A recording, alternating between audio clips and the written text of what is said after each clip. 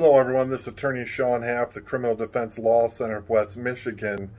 I've had several clients recently come in and retain me. They're facing a second offense OWI or even a third offense drunk driving charge, and they're facing very severe penalties. It's going to be difficult for them to get their driving privileges back. But if you can get into sobriety court, that'll be really favorable for you. That'll really uh, potentially mitigate the damages of your case if you can get into sobriety court. I've had some clients get some outstanding work, uh, I mean, results getting into sobriety court. Not only does it help them stop drinking and keep them from getting that dreaded third offense felony DUI. And remember, there's no statute of limitations uh, when it comes to a third offense drunk driving charge. You could have two drunk driving charges from 70 years ago, and if you're 85 and pick up a third one, you're going to be charged with a felony.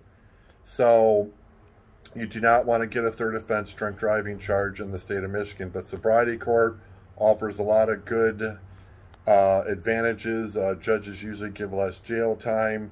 Uh, you have the ability to get a restricted driver's license, and you get the tools you need to stop drinking and stay out of trouble in the future. Give me a call at 616 929 3199 if you have any questions about sobriety court.